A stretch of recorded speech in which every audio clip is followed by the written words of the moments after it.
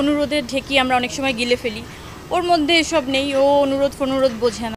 দেশের চলচ্চিত্র অঙ্গনে তারকাদের ব্যক্তিগত জীবন নিয়ে আলোচনা যেন থামছেই না, সেই তালিকা বরাবরই এগিয়ে আছেন আলোচিত নায়িকা পরিমণি।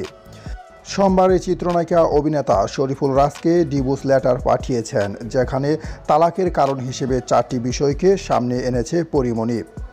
গেল মে মাসে অভিনেত্রী সুনেহা বিনতে কামালের সঙ্গে রাজের কিছু বিশেষ মুহূর্তের ছবি ও ভিডিও প্রকাশে আসার পর তাদের বিচ্ছেদের অবদারিত হয়ে পড়েছিল বলে মন্তব্য করেছেন পরিমণির ঘনিষ্ঠজনরা। তবে পরী কারণ হিসেবে সেগুলো উল্লেখ করেনি বিচ্ছেদপত্রে সেখানে তিনি কারণ হিসেবে জানান, মনের অমিল হওয়া, বনিমনা না হওয়া, খোঁজ না নেওয়া ও মানসিক অশান্তি। আর এর জন্য আঠারো নং কলামে অনুযায়ী পরিবিবাহ বিচ্ছেদ ছিন্ন করতে চান। এর আগে চলতি বছরের শুরুতে স্বামী তাকে মারধর করেন বলেও অভিযোগ দেন পরিমণি।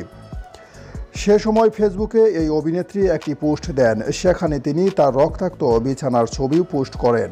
তখন সুস্পষ্ট জানা যায় যে এভাবে তিনি আর রাজের সঙ্গে থাকতে চাচ্ছেন। এরপর বেশ কয়েক দফায় অভিমান, বলে এক হলেও বেশ কিছুদিন ধরেই তাদের সম্পর্কে ভালো যাচ্ছে না।